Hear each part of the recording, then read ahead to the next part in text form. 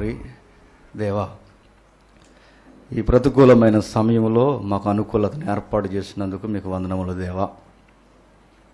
ఎన్ని ఇబ్బందులున్నా ఎన్ని ఆటంకాలున్నా తండ్రి మీ కొరకు తండ్రి ఆరాధన చేయడానికి తండ్రి ప్రత్యేకమైన దినంలో మమ్మను కూడా మీరు నిలబెట్టినందుకు మీకు వందనములు తెలియజేస్తూ తండ్రి చివరి తండ్రి భాగం ఏదైతే ఉందో మీ కుమారుని గుచ్చిన ఆ త్యాగం.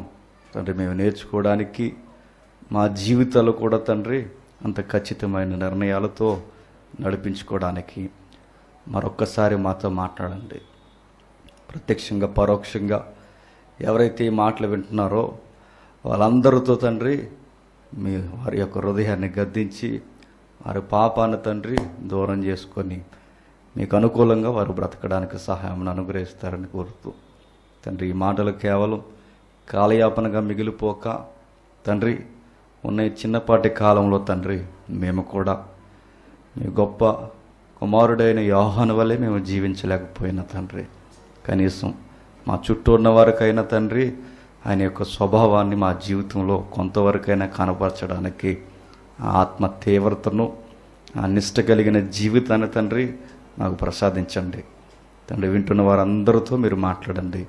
మరి ముఖ్యంగా సంఘంతోనూ సంఘ నాయకులతోనూ సార్వత్రిక సంఘంతోనూ మీరు మాట్లాడతారని కోరుతూ క్రీస్తున్నామని ప్రార్థన సమర్పిస్తున్నాము తండ్రి. ఆమె జాగ్రత్తగా వినండి. చాలా త్వరగా మనం ముగించుకునే ప్రయత్నం చేద్దాం. కొన్ని నెలలుగా మనం ఆలోచిస్తున్న సందర్భం నిజానికి నాలుగో వారం కానీ నెలలు పట్టింది. కానీ మీరు గమనించగలిగితే ఆయన గూర్చి మనం ఎందుకు ఆలోచించాలయ్యా అంటే ఆయన గూర్చి చాలా అవసరం. ఎందుకు ఆయన గూర్చి అవసరం అంటే సార్వత్రిక సంఘంలో దేవుణ్ణి గూర్చి ఎలా బ్రతకాలో మనకు తెలియాలంటే ఒక చక్కటి కొలమానం జాన్ ద బాప్టిస్ట్. ఆయన గూర్చిన పరిశీలన ఇది నాలుగవ భాగం. మొదటి భాగం రెండవ భాగం మూడవ భాగం నాలుగవ భాగం. ఈ నాలుగు చాలా హృదయాన్ని కదిలించేసే సందర్భాలు ఆయన జీవితంలో జరిగిపోయాయి. ఆ రోజు సొసైటీ ఎట్లా ఉందో ఈరోజు సొసైటీ అట్లనే ఉంది. ఆ రోజు ఆ మహాత్మునికి ఎట్లాంటిదైతే జరిగిందో ఈరోజు కూడా అట్లాంటిదే నీతిమంతులకి జరగబోతుంది. చూద్దాం. మన సందర్భాన్ని ఎక్కడైతే ఆపామో అక్కడ నుండి పరిశీలన చేసే ప్రయత్నం చేద్దాం. మతే సువార్త మతే సువార్త మూడో అధ్యాయం. మతే సువార్త మూడో అధ్యాయం. పదమూడవ వచనం నుండి. ఆ సమయమున యోహాను చేత బాప్తిసం పొందుటకు యేసు గలలియా నుండి యార్ధాను దగ్గరున్న అతని ఎద్దకు వచ్చెను. అతడి యోహాను నేను నీ చేత బాప్తిసం పొందవలసిన వాడినై ఉండగా నీవు నా యొద్దకు వచ్చుచున్నావా? ఆన్ చేయండి. మీరు జాగ్రత్తగా చూడగలిగితే మనం గత కొన్ని వారాలుగా చూస్తున్న ఇమేజెస్ మీరు అబ్జర్వ్ చేయండి. ఇది ఆంజితం అవుతుందా? ప్రాబ్లం ఉందా? అవుతుందా? మీరు చూడండి పైనున్న సందర్భాలు ఏంటో మనకు తెలుసు. అనేక మంది యేసుక్రీస్తు వారి కన్నా ముందుగా యోహాను దగ్గరకు వచ్చారు.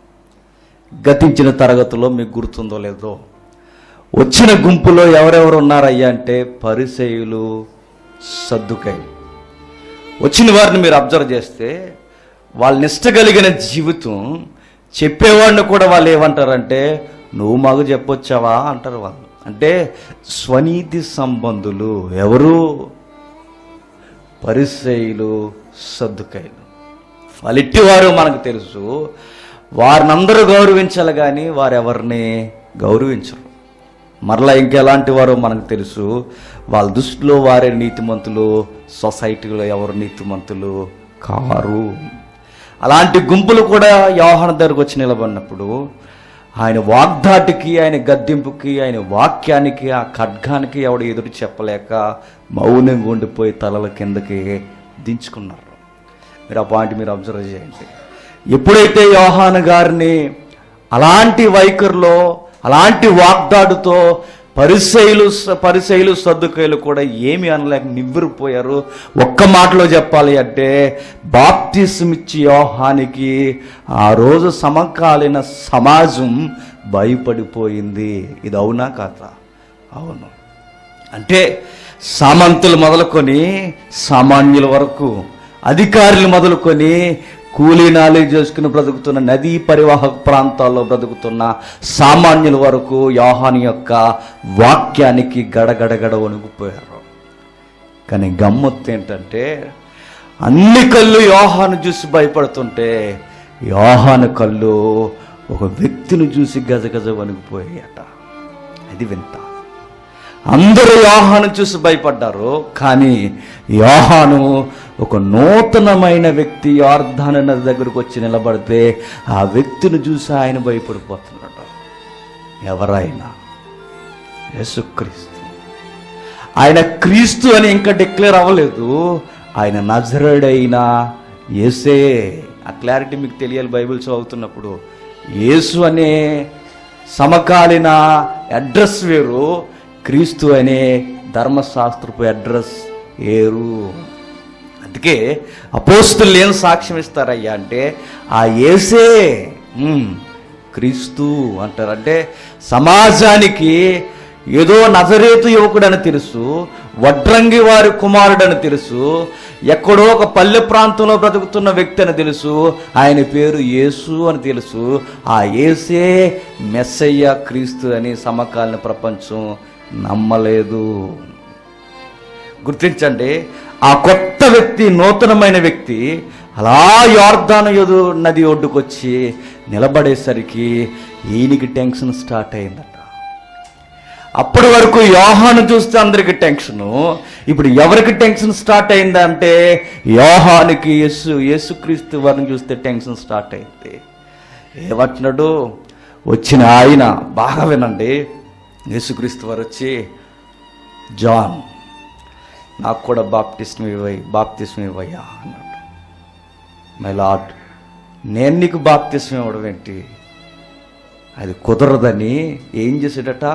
అడ్డగించేసేటట ఎవరు? యాహం చూడండి ఒకసారి కళ్ళు పెద్దవ చేసుకున్న బైబిల్ చూడండి. దిక్కులు మానేసి. యోహన్ సువార్త క్షమించండి మతే సువార్త మూడో అధ్యాయం పదమూడవ నుండి చూద్దాం. ఆ సమయమున యోహాను చేత బాప్త్యసం పొందుటకు. యేసు గలలయ నుండి యోర్దాను దగ్గరున్న అతని యొద్దకు వచ్చెను. చూసారా? యేసు అన్న అడ్రస్ ఉంది అక్కడ? యేసు అనే ఒక నూతనమైన వ్యక్తి యోహాను దగ్గరకు వచ్చాడట. వచ్చి అందుకు యోహాను నేను నీ చేత బాప్తిసం పొందవలసిన వాడై ఉండగా నీవు నా యొద్దకు వచ్చుచున్నావే అని అని ఆయనను నివారింపజూసెను. ఏం చేశాడట? అలా చూస్తూ ఆ చూపుల్లో కూడా ఎలా ఉందయ్యా అంటే నువ్వు నా దగ్గరికి రావడం ఏంటి? నీ జీవితం ఏంటో నాకు తెలుసు. నిజానికి యోహాన్ గారికి యేసుక్రీస్తు వారికి పరిచయాలు ఉన్నాయా అంటే చాలా తక్కువ.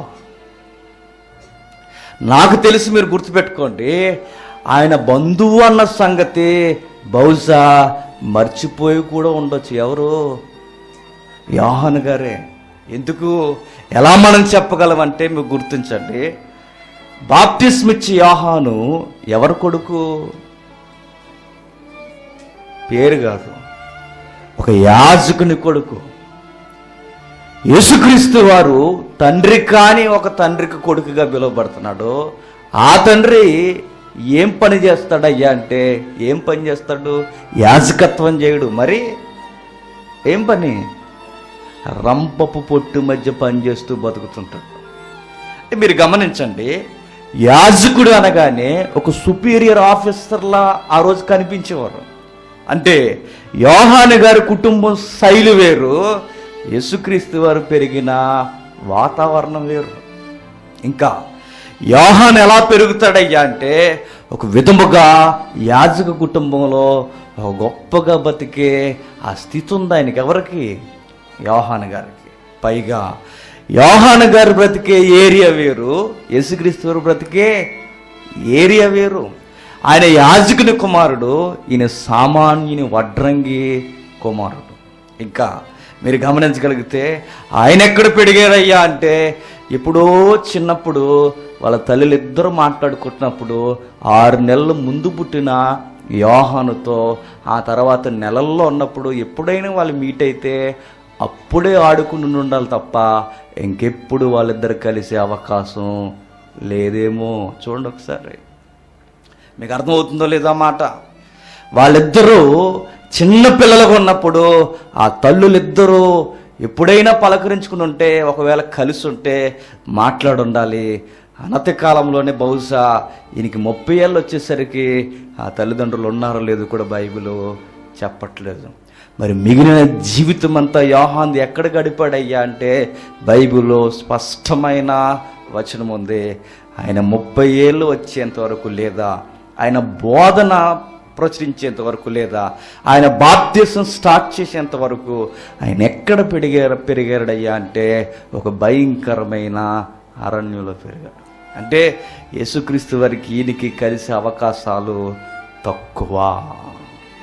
ఎందుకు ఈ పాయింట్ చెప్పాలనుకుంటున్నానంటే యేసుక్రీస్తు వారిని చూసి ఏదో సుపరిచితమైన వ్యక్తి నాకు బాగా తెలిసిన బంధువు కనుక ఇతనే అయి ఉండాలని ఊహించుకునే ఊహల్లో చెప్పేసే అవకాశం యోహానికి లేదు. నేషనల్ జాగ్రఫిక్ ఛానల్ అని ఒక ఛానల్ ఉందో మీకు గుర్తుందో లేదో అందులో ఒక ప్రోగ్రాం వచ్చేది. రెండు వేల పద్నాలుగు పదమూడు ఆ టైంలో. కిలింగ్ జీసస్ అని. ఏదైతే అరబ్ కంట్రీస్ ఉన్నాయో వాళ్ళంతా పెట్టుబడి పెట్టి ఆ పెట్టుబడి పెట్టిన తర్వాత ఏం చేశారయ్యా అంటే ఒక ప్రత్యేకమైన డాక్యుమెంటరీ రిలీజ్ చేశారు. ఆ డాక్యుమెంటరీలో ఉన్న ఆన్సర్ ఏంటంటే యేసుక్రీస్తు అనే వ్యక్తట కలిపింపబడిన వ్యక్తట. ఈరోజు వాగుతున్నారు కదా తాటాకు చప్పుళ్ళు మన తెలుగు రాష్ట్రాల్లో. ఈ వాగుడు ఎక్కడది కాదు అరువు తెచ్చుకున్నది. ఎక్కడి నుండి? ఎక్కడో ఆ మిడిల్ ఆసియాలో ఉన్న అరువు తెచ్చుకున్నది. ఈ గోస ఎప్పటి నుంచి లేదు ఎప్పటి నుంచో ఉంది. ఏమని తీశారంటే మీరు ఎప్పటికీ చూడండి killing Jesus National Geographic channel open చేయండి. మీకు అందులో క్లియర్ కట్గా విస్తారమైన డాక్యుమెంటరీ సుమారు మూడు గంటల డాక్యుమెంటరీ వాళ్ళు తీశారు. ఏం తీశారయ్యా అంటే మీరు గుర్తుపెట్టుకోండి. యోహాన్నట యేసుక్రీస్తు వారే కల్పించేశాడట. క్షమించండి. యేసుక్రీస్తు వారిని యోహానే కల్పించేశాడట. ఎట్లా కల్పించేశాడంటే ఇదిగో మన గూర్చి ముందుగా ప్రవచనాలు ఉన్నాయని పబ్లిక్ నమ్ముతుంది. నేను ఎలాగూ ప్రాపర్టీ కింద పరిచయం అయిపోయాను కదా. నన్ను ఎలాగూ ప్రవక్తి కింద నమ్మేస్తున్నారు కదా. నువ్వేం చేస్తావంటే ప్రజలందరూ నాలుగు వందల సంవత్సరాల నుంచి ఆధ్యాత్మిక జీవితంలో దిగజారిపోయారు. నాతో విప్లవం ఎలాగా స్టార్ట్ అయింది కనుక ఎలాగో మెస్సయ్య కొరకు ఎదురు చూస్తున్నారు కనుక ఆ మెస్సయ్య ఎవరో అని నేను చెప్పట్లేదు. ఆ మెస్సయ్య నువ్వే అయి ఉండాలి. ఆలోచించుకో ఎందుకన్నా మంచిది. ఒకసారి నువ్వు ఆలోచించుకో ఆలోచించు కానీ యోహాను గారు యేసుక్రీస్తు వారిని మోటివేషన్ చేసేస్తే అప్పుడు యేసుక్రీస్తు వారికి అనిపించిందంట అవునంటావా అని. అది కిల్లింగ్ జీసస్. అంటే ఏం నేర్పిస్తారయ్యా డాక్యుమెంటరీలు అంటే యేసుక్రీస్తు అనే ఒక రోల్ని యోహాని క్రియేట్ చేశాడు. నిజానికి మెస్సయ్య ఇంకా రాలేదు. అది చెప్పాలనుకుంటారు ఈ తికలక బ్యాచ్ అంతా. అదే తుకలక బ్యాచ్. వీళ్ళంతా ఏం చెప్పాలనుకుంటారంటే ఇంకా మెస్సే రాలేదు మెస్సే రాలేదనడానికి ప్రజలు నమ్మించడానికి హిస్టరీ ఛానల్ కూడా అడ్డెట్టుకుని పెద్ద పెద్ద డాక్యుమెంట్స్ చేసేసారు మీరు గుర్తించండి యోహానంత స్పష్టత లేనివాడు కాడు. ఎందుకంటే ఆయనకు ధృవీకరణిస్తున్నది ఎవరంటే ఆయన బంధుత్వం కాదు. అసలు వాళ్ళిద్దరూ కలిసి పెరగడానికి ఆధారాలే లేవు. అసలు ఆయన బంధువా కాదన్న సంగతి తర్వాత విషయం. యోహానికి ఆ సీన్ ఎలా డిక్లేర్ అయిందయ్యా అంటే యోహాను ఈయన క్రీస్తు అని డిక్లేర్ చేయలేదట. మరెవరు కన్ఫర్మ్ చేశారు? బైబిల్ మీకు గుర్తుందో లేదో? ఈయనే యేసుక్రీస్తు ఈయనే మెస్సయ్య అని యోహాను కన్ఫర్మ్ చేయడం కాదు. దానికన్నా బలమైన సాక్ష్యం బైబిల్లో ఉంది. ఎవరయ్యా అంటే పరిశుద్ధాత్ముడు. ఎవరి చేత నింపబడినాడు నడ నడపబడుతున్న బోధకుడైనా ఆత్మ చేత నడిపింపబడుతున్న బోధకుడు ఎవరైనా? యోహాన గారు. ఆ యోహాన గారికి రాబోతున్న వ్యక్తి ఎవరో? హృదయం నుండి స్పందన స్టార్ట్ చేయడమే కాదు ఆ వస్తున్న వ్యక్తిని చూపిస్తూ ఈయనే క్రీస్తుని డిక్లేర్ చేయడానికి కారణం ఆయన దగ్గర ఒక విట్నెస్ ఉందట. ఎవరికి? యోహాన గారికి. ఏమిటా సాక్ష్యం? చూడండి ఒకసారి యోహాన్ సువార్త. అందరూ బైబిల్ తీయాలి. యోహాన్ సువార్త. మొదటి అధ్యాయం ఇరవై తొమ్మిది వచ్చిండండి మర్నాడు యోహాను. యేసుక్రీస్తు వారు తన యొద్దకు రాగా చూసి ఇదిగో లోక పాపమును మోసుకొని పోవు. దేవుని గొర్రెపిల్ల నా వెనుక ఒక మనుష్యుడు వచ్చుచున్నాడు. ఆయన నాకంటే ప్రముఖుడు గనక. నాకంటే ముందటివాడు ఆయనని నేను ఎవరిని గూర్చి చెప్పుతునో ఆయనే ఈయన. నేను ఆయనను ఎరుగనైతిని కానీ అతడు ఇస్రాయేల్కి ప్రత్యక్ష మొగుటకు నేను నేలలో బాప్తీసము ఇచ్చుచూ వచ్చి తిని బాగా వినండి యోహాని యొక్క పరిచర్యకి పరాకాష్ట ఏంటయ్యా అంటే యేసుక్రీస్తు వారికి బాప్తీసం ఇవ్వడమే గొప్ప భాగ్యం ఎవరికి? యోహానికి. యోహాను యేసుక్రీస్తు వారిని చూసి ఎలా వణికిపోతున్నాడు అయ్యా అంటే మీకు గుర్తుందో లేదో బైబిల్ చదివే అలవాటు ఉంటే ఒకరోజు మోసే సేనాయి పర్వతం మీద ప్రభు సన్నిధికి వెళ్ళడానికి ఎలా గజగజ వణుకుపోయాడో అలా వణుకుపోతున్నాడు చూడండి. ఎవరు? యోహాను. మోసే గొప్ప ప్రాఫిట్ అవ్వచ్చు. యోహాను గొప్ప ప్రవక్త అవ్వచ్చు. కానీ దేవుని సన్నిధిలో తమ్మును తాము నిలబెట్టుకోవడానికి అదిరిపోతారు. భయపడిపోతారు చూడండి. ఆ రోజు మోసే ఎలా అయితే భయపడిపోతున్నాడో దేవా నీ సన్నిధికి నేను రాలేకపోతున్నాను.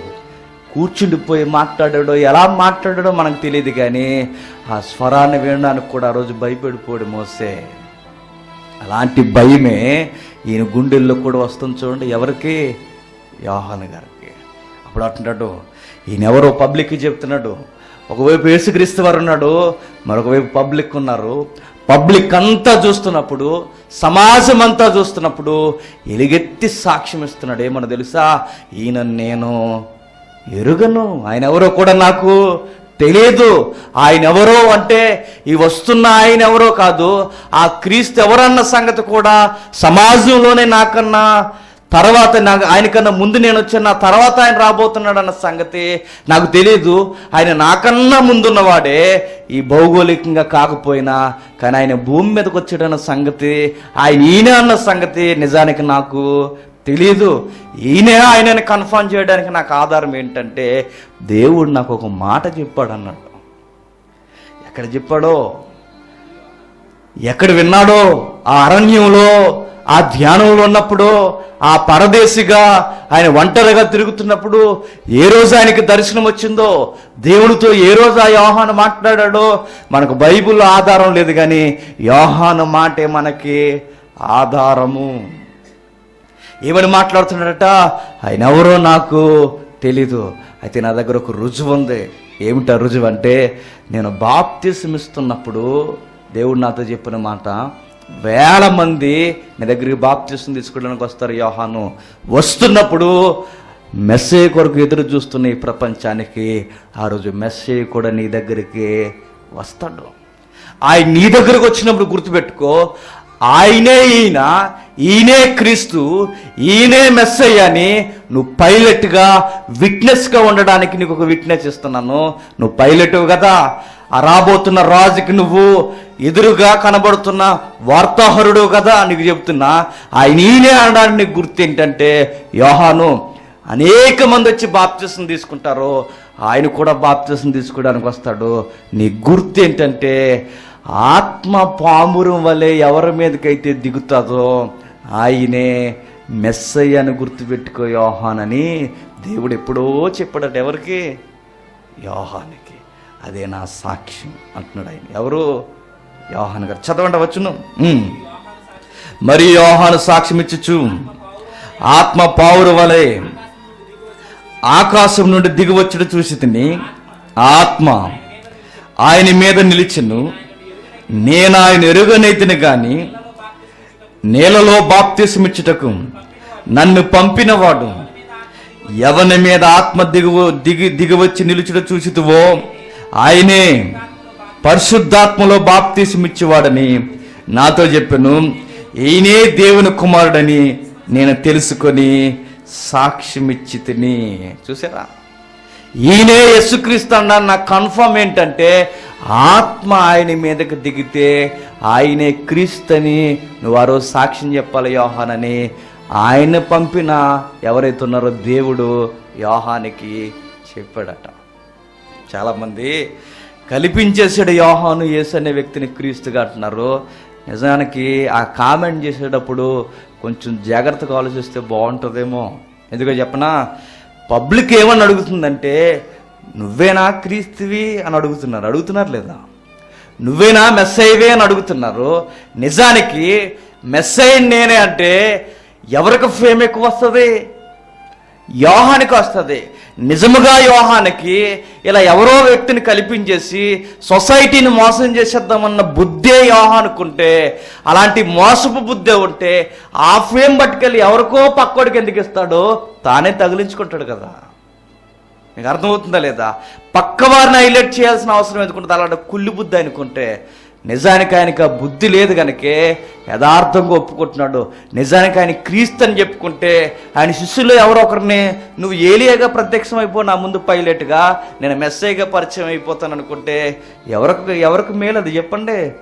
యోహానికే మేలు. కానీ యోహాను మోసం చేయట్లేదు చూడండి. మోసం చేయట్లేదు అనడానికి గుర్తేంటయ్యా అంటే యేసుక్రీస్తు వారిని తలెత్తి చూడడానికి కూడా సరిపోలేని మాటలు ఆయన మాట్లాడుతున్నాడు. నేను చెప్పులు మోసుకుంటే చాలా చూసారా? ఆ రోజు మోసే గారు చెప్పులు వేసుకుని నిలబడలేకపోయాడు. ఈరోజు యోహన్ గారు నీ చెప్పులు మోయడానికి కూడా నేను సరిపోను అంటున్నట్టు నిజముగా బాప్తిస్మిచ్చి యోహానికి గొప్ప బహుమానం ఏంటయ్యా అంటే యేసుక్రీస్తు వారికి బాప్తిస్మ ఇవ్వడమే.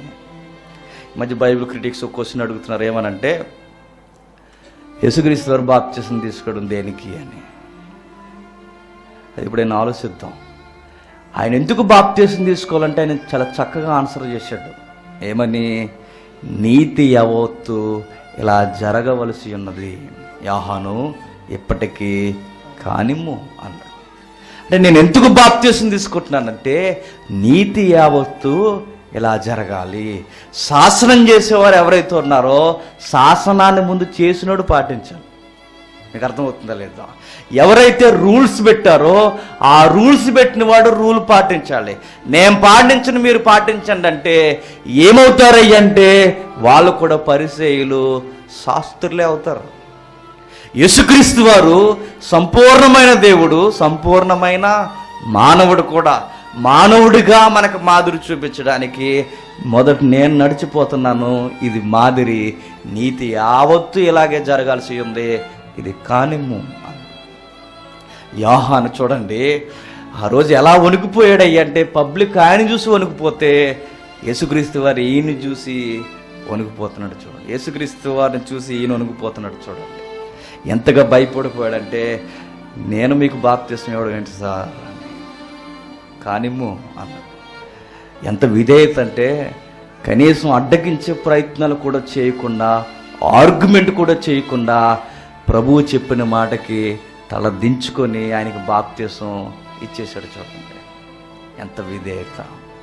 నిజానికి ఇది నా వల్ల అవుదని పెద్ద ఆర్గ్యుమెంట్ చేయొచ్చు కానీ చేయలా. చెప్పింది చేయి అన్నాడు ప్రభు మాటకు ఆయన ఎదురు చెప్పలేదు. ఇలా సాగిపోతుంది. చక్కగా జీవితం కొనసాగుతుంది. కనబడిన దగ్గరల్లా ప్రజలకు చెప్తున్నాడు ఆయనే లోక పాపములు మోసుకొని పోవు. దేవుని గొర్రెపిల్ల ఈ సందర్భాన్ని మీరు చదివితే మరనాడు కూడా వాళ్ళు బయలుదేరిపోతున్నప్పుడు మరనాడు అన్న ప్రాంతం నేను అనుకుంటాను. అప్పుడు యేసుక్రీస్తు వారు ఎక్కడున్నాడయ్యా అంటే నేను అనుకుంటా ఆ నలభై దినాల ఉపవాస కూడుకులు ఆయన స్టార్ట్ అయిపోయాడేమో ఎందుకో చెప్పనా? మరనాడు అనగానే ఏనాడు? బాప్తిసం జరిగిన తర్వాతే. అంటే ఆ తర్వాత వీళ్ళిద్దరూ ఎక్కడ సైట్ అయి ఉండాలయ్యా అంటే గుర్తుపెట్టుకోండి ఆయన అరణ్యంలో తిరిగే మనిషే ఈయన కూడా అరణ్యంలోనే ఆ యజ్ఞయాగంలో ఉన్నాడు ఎవరు? యేసుక్రీస్తు వారు. ఆ రోజే చూసి ఉండాలి తన శిష్యులను పిలుచుకొచ్చి ఈయనే లోక పాపాలను మోసుకొని పోవు దేవుని గొర్రెపిల్ల. ఇలా సంభాషణ జరుగుతూ గొప్ప వాగ్దాటితో అనేక మందికి సాక్ష్యం ఇస్తూ నా వెనకొస్తున్న ఆయన మీకు బయలుపరచబడ్డాడు ఆయన ఎందు మీరు విశ్వాసం ఉంచండి అని గొప్ప సాక్ష్యాన్ని ఇస్తూ ఆయన బతికేస్తున్నాడు. ఇలాంటి టైంలో ఒక పిడుగు లాంటి సందేశం కూడా ఒక కోటకు చేరుకుంది. ఎవరు కోటకయ్యా అంటే ఎరోదు కోటకి.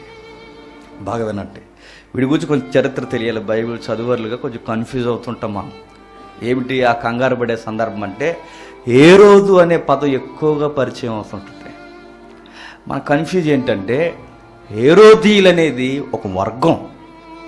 ఆ వర్గంలో మీరు గమనించండి సుమారుగా మూడు పాత్రల్లో యేసుక్రీస్తు వారి కాలంలో రిపీట్ రిపీట్ అవుతూ మనకు కనిపిస్తుంటాయి. ఆ పదం ఏంటి వాడెక్కడున్నాడు ఏంటి అనుకుంటాం మనం. గుర్తుపెట్టుకోండి ఆ భాగం మీరు మర్చిపోకండి. యేసుక్రీస్తు వారు పుట్టిన టైంలో ఒక శాసనం చేస్తాడు వాడు. వాడి పేరు ఏం పేరు అంటే పేరు మనకుండదు కానీ ఒక ట్యాగ్ లైన్ ఇచ్చారు. వాడి వాడి ట్యాగ్ లైన్ గ్రేట్ ఏరోదు అంటారు మహా ఏరోదు అంటారు. పెద్ద ఏరోదు ఆయన. ఆ పెద్దవాడు గుర్తుపెట్టుకోండి వాడు చాలా క్రూరుడు. వాడు ఎంత దారుణం అంటే పదవ కొరకు పిల్లలను కూడా చంపేస్తాడు. వాడికి అడ్డొస్తే స్త్రీలను లేదు పిల్లలను లేదు ఎవరినైనా కథం చేసి పడేస్తాడు అన్నమాట అలాంటి వాడు గుర్తుపెట్టుకోండి ఇద్దరు భార్యలను చేసుకున్నాడు ఎవరు? ఆ మహా ఈరోజే ఎవరు ఆ ఇద్దరు భార్యలు అంటే చరిత్రలో పెద్ద పేర్లు ఉన్నాయి ఎప్పుడైనా సందర్భం వచ్చినప్పుడు చూసుకుంటాం. ఇద్దరు భార్యలు చేసుకుంటాడు మొదట ఒక భార్యను ఒక ఒక దాన్ని వదిలేసి మరొక దాన్ని చేసుకుంటాడు. చాలామంది భార్యలు ఉన్నారు సుమారుగా పది మంది ఉన్నారని అంచనా. అయితే మొదట ఒక దాన్ని వదిలేసి మరొక దాన్ని క్షమించండి. దాన్ని అనడం చాలామందికి మధ్య నచ్చట్లా మరొక ఆవిడని చేసుకున్నాం మరొక ఆవిడని చేసుకుంటే గుర్తుపెట్టుకోండి. మరొక ఆవిడని చేసుకున్న తర్వాత ఆవిడకు ఒక కొడుకు పుడతాడు. ఆ కొడుకు పేరు పిలిప్ మీరు బైబిల్ చదువుతున్నప్పుడు కనబడుతుంది మీకు. హెరోదను పిలిప్పు భార్యను ఉంచుకున్నాడు. మరొక హెరోదు అని చదువుకుంటాం. మీకు అర్థమవుతుందా? అర్థమైపోతే చేయొద్దని మళ్ళీ చెప్తా మహాహీరోదు ఉన్నాడు వాడు ఒక దాన్ని పెళ్ళి చేసుకున్నాడు క్షమించాడు. మరొక ఆవిడ పెళ్ళి చేసుకున్నాడు. మరొక ఆవిడని పెళ్ళి చేసుకుంటే ఆవిడకు ఒక కొడుకు పుట్టాడు. ఆ కొడుకు పేరు పిలిప్ వాడికి పోయే కాలం మరలా ఎక్కువయ్యి మరొక ఆవిడని కూడా పెళ్ళి చేసుకున్నాడు. ఆ మరొక ఆవిడకు పుట్టిన మరొకడు వాడే అంతిపస్ అనేవాడు. ఇప్పుడు మెయిన్ వాడుతున్న గొడవ అంతా ఇప్పుడు మనకి. అంతిపస్ అనేవాడు ఎవడైతే ఉన్నాడో అంటే ఒకే తండ్రి ఇద్దరు తల్లులు అన్నమాట. ఆ ఒకే తండ్రి ఎవడు? యేసుక్రీస్తు వారిని పసిపిల్లవాడుగా ఉన్నప్పుడు చంపాలనుకున్నాడే వాడు. వాడు ఎప్పుడు చనిపోతాడంటే క్రీస్తు శకం నాలుగులో చచ్చిపోతాడు. వాడు చనిపోయిన తర్వాత అధికారాలు భాగాలు భాగాలుగా విభజింపబడతాయి. అందులో గవర్నర్స్ వెళ్ళే అందులో రాజులు కూడా వెళ్ళే. అయితే అందులో గవర్నర్గా రాజులుగా పనిచేస్తుంటారు. అందులో ఇద్దరున్నారు కొడుకులు. ఆ ఇద్దరు కొడుకులు ఎవరు? పిలిప్ ఒకడు అంతిపస్ ఒకడు. ఈ పిలుపు అంతిపస్ గుర్తుపెట్టుకోండి. వీళ్ళిద్దరు పాలన చేస్తుంటే అప్పటికి ఒక అరేబియా స్త్రీని పెళ్ళి చేసుకుంటాడు ఎవడు? అంతిపస్ అన్నవాడు. ఎంత చరిత్ర. పెళ్ళి చేసుకుంటే వీడికి స్త్రీ వ్యామోహం ఎక్కువ. ఎవరికి? అంతిపస్ అన్నవాడికి. అప్పుడు వీడు ఏం చేస్తాడంటే తమ్ముడు భార్య ఉంది. ఎవరు? పిలుపు తమ్ముడు అవుతాడు కదా. తండ్రి ఒకడే తల్లులు వేరు. తమ్ముడు భార్య ఏం చేశాడంటే ఆ తమ్ముడు భార్యతో కమ్యూనికేషన్లోకి వచ్చాడు. ఎప్పుడైతే వీళ్ళిద్దరు కమ్యూనికేషన్లోకి వచ్చారో గుర్తుపెట్టుకోండి ఆవిడ ఏం చేసింది అంటే ఆ పిలుపు అన్నవాడిని వదిలేసి మీరు గుర్తించండి ఈ అంతిపస్ అన్నవాడితో పెళ్ళి చేసుకుంది అధికారికంగా అంటే ఎడాకులు ఇచ్చిందన్నమాట. ఏమి అనలేని ఏమి అనలేక ఉండిపోయారంటే ఖచ్చితంగా అధికారికంగా వెళ్ళి చేసుకున్నారంటే అధికారికంగానే విడిపోయారు. మీకు అర్థమవుతుందా? ఈ సీన్ జరుగుతుంది ఈ పక్కన యోహాను సేవ చేస్తున్నాడు. ఈ పక్కన ఈ సంసార జీవితాలు గొడ్డిగా మారిపోయాయి కానీ సొసైటీలో మాత్రం అది చాలా ఘనమైన కార్యం ఎంత ఘనమైన కార్యం అంటే మీరు గుర్తుపెట్టుకోండి ఏ రాజు అయితే ఏ అధికారి అయితే ఎక్కువ మంది భార్యలు చేసుకున్నాడో వాడు చాలా పెద్ద అధికారి వాడు చాలా పెద్ద పేరు ఉంటుందన్నమాట అందుకే రాజులు కూడా ఇస్రాయేల్ రాజులు కూడా ఎక్కువ మంది భార్యలు చేసుకుంటారు చూడండి.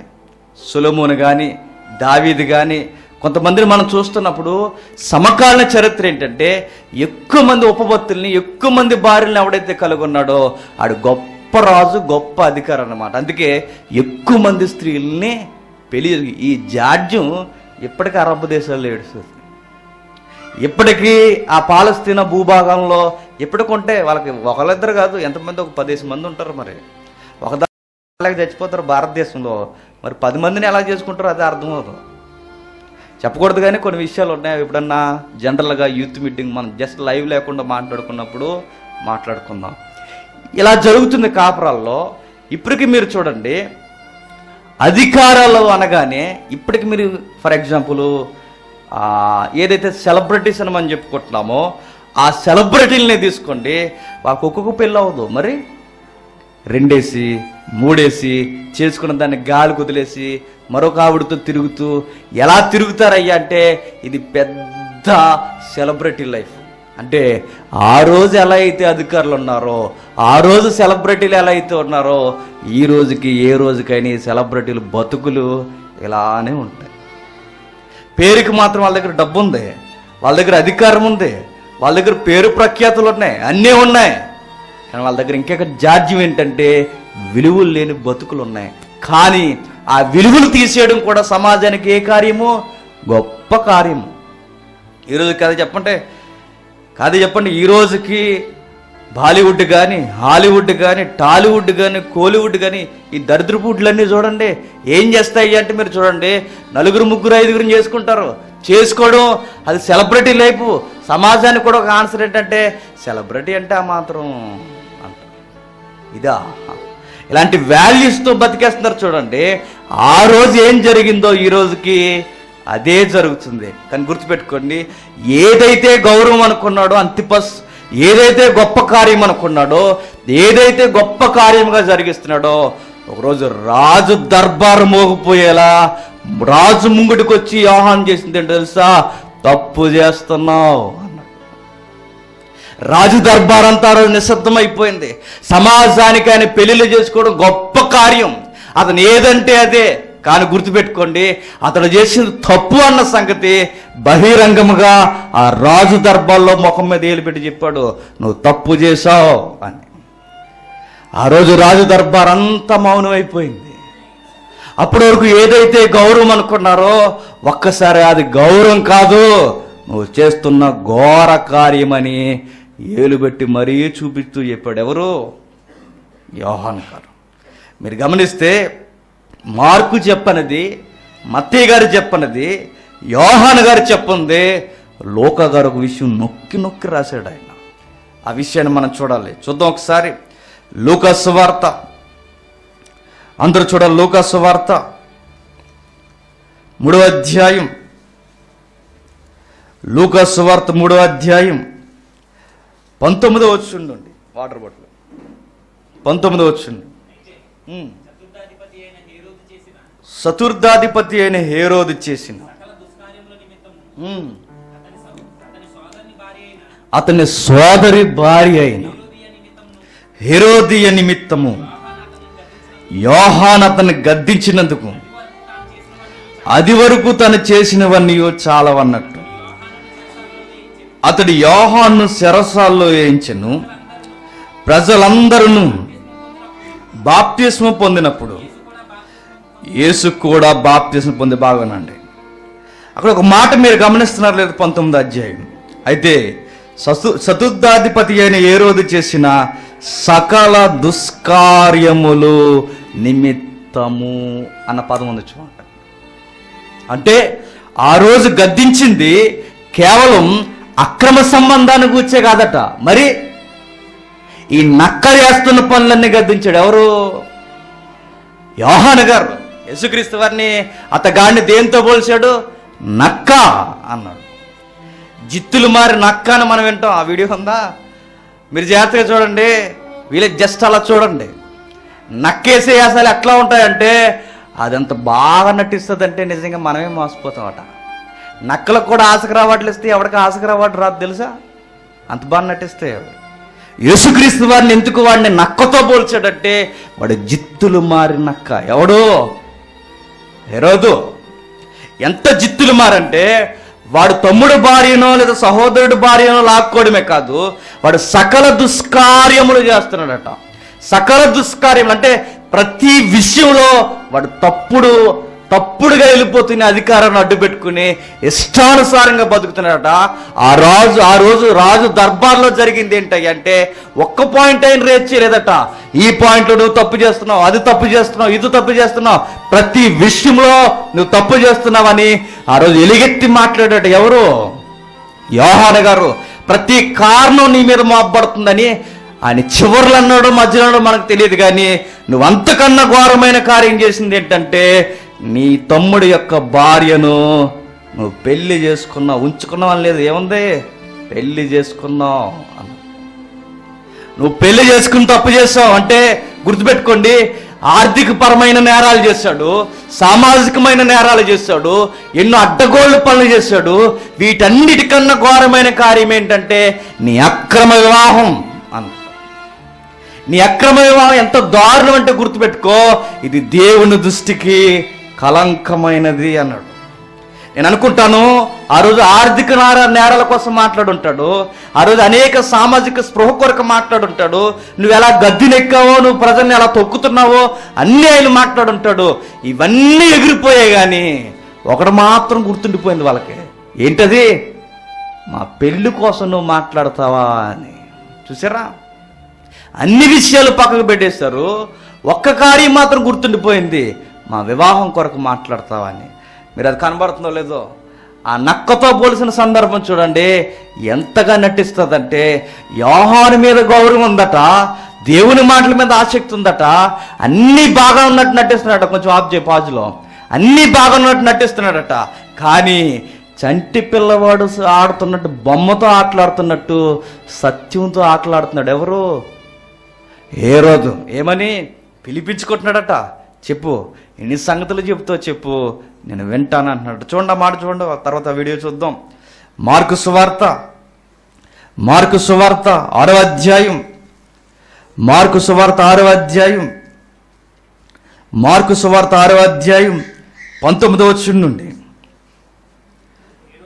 హెరోదియా అతని మీద పగబెట్టి అతని చంపింపగోరిన కానీ ఆమె చేత కాకపోయిను ఎందుకనగా యోహాను నీతిమంతుడు పరిశుద్ధుడకు మనుషుడని ఏరోది ఎరిగి అతనికి భయపడి అతన్ని కాపాడుచు వచ్చెను. మరియు అతని మాటలు వినినప్పుడు ఏమియు చేయను తోచకపోయినను సంతోషముతో వింటున్నాడంట. చూసారా? అంటే ఎక్కడ ఎలా ఉండాలో మారిపోతాడనమాట భార్య దగ్గర ఉంటే అలాగే చేద్దాం అంటాడట. ఆవిడ ఏం చేస్తుందా అంటే చాలా రోజుల నుంచి ఎదురు చూస్తుందట. చంపే చంపే అని. ఇతగాడు ఏం చేస్తున్నాడు? యోహాన్ దగ్గరకు వచ్చేసరికి చాలా సంతోషంగా దేవుని మా అంటే సత్యంతో బొమ్మలాట ఆడినట్టు ఆడుతున్నాడు. గుర్తుపెట్టుకోండి మీరు దేనితో ఆటలాడినా పర్వాలేదు. వాక్యాన్ని అడ్డు పెట్టుకుని ఆటలాడితే ఏ రోజుకి ఏదైతే జరిగిందో మనకు కూడా అదే జరుగుద్ది గుర్తుపెట్టుకోండి. మీరు ఎక్కడ ఆటలాడినా పర్వాలేదు గుర్తుపెట్టుకోండి. మీరు వాక్యాన్ని అడ్డు పెట్టుకుని ఆటలాడారు అనుకుని ఎవరైనా ఎవరైనా నిలబడి మాట్లాడుతున్నవారైనా కూర్చుని వింటున్నవారైనా మీ దొంగ పనులకి దొంగేసాలకి వాక్యాన్ని అడ్డు పెట్టుకుని వాక్యం మీద ఒట్టు వాక్యం మీద రుజువు ఇలాంటి అడ్డగోలు మాటలు మాట్లాడేస్తే గుర్తుపెట్టుకోండి. ఆ వాక్యమే మిమ్మల్ని దులిమనిస్తుంది. యోహాను కూడా అలాంటి మాటలు బోధిస్తున్నప్పుడు నక్క తెలివితేటలు చూపిస్తున్నాడు ఎవరు? ఏ రోజు? చూడండి దాని దాని దాని యాసాలు చూడండి. ఒకడు కొట్టాడు దాన్ని కొడుతున్నప్పుడు దొరికేసింది. అడ్డంగా దొరికిందిగా అడ్డంగా దొరికేసరికి ఎలాగో తప్పించుకునే ప్రయత్నం లేదు. ఇది ఎలాగనని చంపేస్తాడని చచ్చిపోయినట్టు యాక్ట్ చేసిందట ఎవరు. అది చూడండి జాగ్రత్త చూడండి ఒకసారి. చూసారా?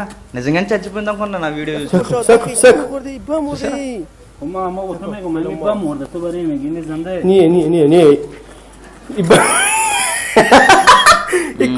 Bello. Secco, secco. చూసారా? అప్పటి వరకు చచ్చిన శమలా యాక్ట్ చేసింది. ఒక్కసారిగా మంచి పొజిషన్ తిప్పాడు. లేచి వెళ్ళిపోద్దని. మంచి పొజిషన్ తిప్పేసరికి కరెక్ట్ ఛాన్స్ అని ఒక్కసారిగా అప్పటి వరకు ఓపిక లేని దానిలో యాక్ట్ చేసినది ఏమైంది? హండ్రెడ్ మీటర్ స్పీడ్తో ఎగిరిపోయింది చూడండి. దాన్ని నక్క తెలివితేటలు అంటారు. ఇక్కడికి అన్ని గుంట నక్క తెలివితేటలు అని అంటారు చూసారా? అంటే ఎక్కడ ఎలా ఉంటే అలా యాక్ట్ చేస్తాడు అనమాట అలాంటి యాక్టింగ్ బాగా తెలుసు ఎవరికి? హేరోదుకి అదే వాడి పేరు అంతిపస్. ఏం చేస్తున్నాడయ్యా అంటే మీరు గుర్తుపెట్టుకోండి వాడు చేసిన దౌర్భాగ్యమైన పనులకి వాడు చేస్తున్న ఘోరమైన కార్యాలు చూడండి ప్రవక్తట గద్దించాడట. ఏ కార్యాల కొరకు గద్దించాడయ్యా అంటే సకల దుష్కార్యములు గూర్చి యోహాన్ గారు గద్దించారు అవన్నీ వాళ్ళ గుండెల్లో దూసుకుపోలేదు కానీ గుణపం లాంటి ఒక మాట వెళ్ళిపోయింది. ఆ మాట ఏంటయ్యా అంటే నీ అక్రమ వివాహాలు అన్నాడు. నేను అనుకుంటాను యోహాను ఆ రోజు ఇది అక్రమం అని ఏ క్రమంతో కొలుస్తున్నాడు యోహాను? రోజు ఒక తమ్ముడు ఫోన్ చేసి అన్నా మరి ఇలా జరుగుతుంది? ఆవిడ వదిలేసి ఈవిని చేసుకుందాం అనుకుంటున్నాను. ఏమంటావు అన్నట్టు ఇప్పుడు వివాహం జరిగిందంటే ఎప్పుడో జరిగిందన్న వదిలేద్దాం అనుకుంటున్నాను అన్నాడు. మరలా ఆడు చెప్పే సూత్ ఏంటంటే గుర్తుపెట్టుకోండి జాగ్రత్త ఈ మధ్య ఈ చాప కింద నీరులో పా పాక్కుంటూ వచ్చేసి కాపురాలను కాపురాలనే పాడు చేసే సందేశాలు సమాజంలో ఉండిపోయాయి ఏం చెప్తున్నాడంటే నేను వాక్యంలోకి రాకముందు జరిగిందన్నా వాక్యంలోకి వచ్చిన తర్వాత ఆవిడ మంచిది కాదని తెలిసిపోయింది. వాక్యంలోకి రాకమునిపే జరిగిపోయాయి అన్నీ ఇప్పుడు వాక్యంలోకి వచ్చా అంటున్నాడు. ఇలాంటి వారికి చెంప చెలువనిపోయే మాట ఏంటి చెప్పనా? ఈరోజు కేసే. ఈరోజు వాక్యంలో ఉన్నవాడా? వాక్యంలో లేనివాడా? వాక్యంలో చెప్పండి. మీకు ఇలాంటి సేవలు పెద్దవి అవుతాయి. చెప్పండి. వాక్యంలో ఉన్నవాడా? వాక్యంలో లేనివాడా?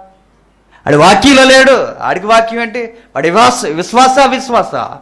అవిశ్వాసి అవిశ్వాస అయిన వాడు ఎన్ని పెళ్ళిళ్ళు చేసుకుంటే భక్తుడైన వ్యవహానికి ఎందుకు నిజానికి మన కొలత పెడితే నిజానికి మన కొలత పెడితే దేవుళ్ళో ఉన్నప్పుడు దేవుళ్ళో లేనప్పుడు అంటున్నాం కదా.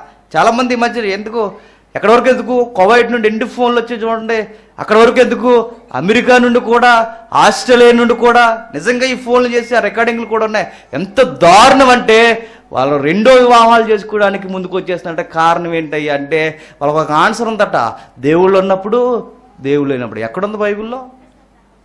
ఎక్కడుంది బైబిల్లో దేవుళ్ళు ఉన్నప్పుడు? ఎంతమందినైనా వదిలేసి ఎంతమందినైనా చేసుకోవచ్చు. దేవుళ్ళకి వచ్చిన తర్వాత మాత్రం ఒక పెళ్ళి అధికారికంగా ఉంటుందని. ఎక్కడుంది బైబిల్లో? లేదుగా?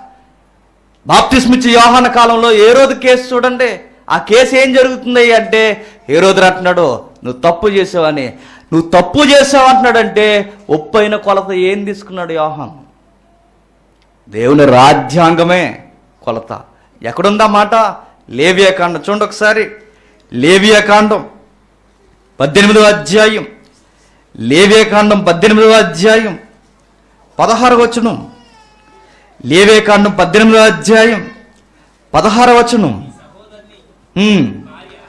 ఈ సహోదరుని భార్య మానఛాదమును తీయకూడదు. అది నీ సహోదరుని మానము. ఒక స్త్రీ మానఛాదమును ఏం జరుగుతుందో చూడండి. నీ సహోదరుని యొక్క భార్య యొక్క మానఛాదమును నువ్వు తీయకూడదు. ఎందుకంటే ఆమె నీ సహోదరుని భార్య. మరొక వచనం చూడండి. లేవేకాండ ఇరవై అధ్యాయం ఇరవై ఒకటో వచనం. లేవేకాండ ఇరవై అధ్యాయం ఇరవై ఒకటో వచనం. ఒకడు తన సహోదరి భార్యను చేర్చుకునే ఎడల అది హేయము. వాడు తన సహోదరుని మానఛాదమును తీసెను. గుర్తుపెట్టుకోండి ఆ రోజు యోహాను ఏ క్రమాన్ని బట్టి కొలుస్తున్నాడయ్యా అంటే ఈ ధర్మశాస్త్రం అనే కొలమానాన్ని బట్టి ఆ రోజు ఏ రోజును కొలుస్తున్నాడు చూడండి. ఏ రోజుకి నీతి అనే కొలత ఎక్కడదయ్యా అంటే ఆ ధర్మశాస్త్రంలో ఉన్నదే. ధర్మశాస్త్రంలో ఉన్నది ఎవరు కొలుస్తున్నాడయ్యా అంటే ఎవరు కొలుస్తున్నాడు? ఏ రోజు కూడా కొలుస్తున్నాడు చూడండి. అంటే వివాహ వ్యవస్థ అనేది అవిశ్వాసకొకలా విశ్వాసకొకలా ప్రభు ఎప్పుడు మాట్లాడు. దేవుని ఏర్పాటులో తెలిసి జరిగిందో తెలియక జరిగిందో దేవుని యొక్క ఆ కనుసన్నల్లో మీ కార్యము జరిగింది. మీరు గుర్తుపెట్టుకోండి మీ ఇష్టానుసారంగా మీకు నచ్చినట్టుగా కాపరాల్లో చేసుకుంటూ వెళ్ళిపోతే దేవుడు ఊరుకోడట. ఆ రోజు ఏ రోజున కూడా గద్దిస్తున్నాడు చూడండి. ఏం జరుగుతుంది అయ్యా అంటే ఎంతగా గద్దిస్తున్నాడు చూడండి. నువ్వు తప్పు చేసావు అంటున్నాడు. నువ్వు తప్పు చేసావని గద్దించాడు కనుకే ఆ రోజు కోపం పెంచుకున్నాడట. ఎవరు? ఏ హేరోదుని గద్దిస్తే భరించలేకపోతున్నాడట. మరలా చూద్దాం ఒకసారి ఆ మాట చూద్దాం. లూక సువార్త. చూద్దాం మార్కు సువార్త చూద్దాం. మార్కు సువార్త ఆరో అధ్యాయం. మార్కు సువార్త ఆరో అధ్యాయం. మార్కు సువార్త ఆరో అధ్యాయం అంత పంతొమ్మిది నుండా? పంతొమ్మిది వచ్చిన నుండి. హెరోదియా. అతని మీద పగబట్టి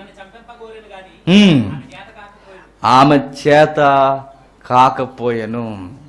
మరొక మాట కూడా ఉంటుంది లూకాసు వార్త అనుకుంటా. ఒకసారి చూడండి. లూకాసు వార్త లూకాసు వార్త మూడో అధ్యాయం. లూకాసు వార్త మూడో అధ్యాయం. ఇరవై వచనం. అది వరకు తను చేసినవన్నీ చాలవన్నట్టు అతడు యోహాను శరసాలలో ఏయించను. చూసారా ఏం జరుగుతుందయ్యా అంటే మీరు గుర్తుపెట్టుకోండి సకల దుష్కార్యములు కూర్చొని గద్దిస్తే ఏ కార్యం గుర్తుండిపోయిందట? ఏ కార్యము? భార్యను చేసుకున్నావన్న ఏదైతే ఆ మాట ఉందో నీ తమ్ముడు భార్యను నువ్వు భార్యగా చేసుకున్న మాట ఏదైతే ఉందో ఆ మాట నచ్చలేదట. అప్పటి వరకు బాప్తిస్మిచ్చి యోహన దగ్గరికి వందల మంది ఏల మంది వచ్చి వారి యొక్క తప్పులను ఆయన ఎత్తి చూపిస్తున్నప్పుడు మారు మనసు పొందారు. ఇక్కడ ఎక్కడేం చేస్తున్నారు? మా తప్పులే ఎత్తుతావా? నువ్వు మాకు నచ్చలేదు నీ సంగతి చూస్తావని డిసైడ్ అయిపోయారట. అంటే ఎలాంటి మనుషులంటే కొందరు ఎట్లా ఉంటారంటే వారు తప్పులెత్తి మనం మాట్లాడితే అవసరమైతే ఆ బోధకుని కూడా చంపేస్తారు. గుర్తుపెట్టుకోండి. వాళ్ళకి నచ్చినన్ని మాటలు మాట్లాడితే పర్వాలేదు ఆయనకు చూసి క్రియలు చేస్తే పర్వాలేదు ఆయనకి ఏ విధమైన కార్యాల గురించి మాట్లాడినా పర్వాలేదు. నువ్వు పర్సనల్గా ఈ తప్పు చేసావంటే మాత్రం ఈ బోధకుడు మాకు నచ్చలేదు ఈయన చంపేయాలని డిసైడ్ అవుతారట. ఈరోజు కూడా జరుగుద్ది అంటే మీరు గుర్తుపెట్టుకోండి మీరు పర్సనల్స్ మాట్లాడంటే మీ సంగతి చూస్తారు. మరి వ్యక్తిగతమైన జీవితాల గురించి వాక్యంతో మీరు కొలవడం ప్రారంభించండి. మీ సంగతి చూస్తారు? మీ బతుకు ఎలా ఉంటుందో మిమ్మల్ని ఎలా బ్యాట్ చేయాలో మిమ్మల్ని ఎలా లేకుండా చేయాలో చాలా ఎత్తుగలు వేసుకుంటారు. ఇప్పటికే సొసైటీ అట్లానే ఉంది. మీరు గమనించండి ఆ రోజు జరుగుతున్నది ఏంటయ్యా అంటే ప్రమాదంలో వేసేసాను యోహాన్ని చేరసాలు అనుకున్నాడు. నిజానికి ప్రమాదంలో ఉన్నది ఎవరు? ఎవరు? హేరోదే. ఈ సందర్భంలో ఒక మాట మనకు అవసరం. సామెతల గ్రంథం. సామెతల గ్రంథం. ముప్పై అధ్యాయం సామెతల గ్రంథం ముప్పై అధ్యాయం మూడవచనం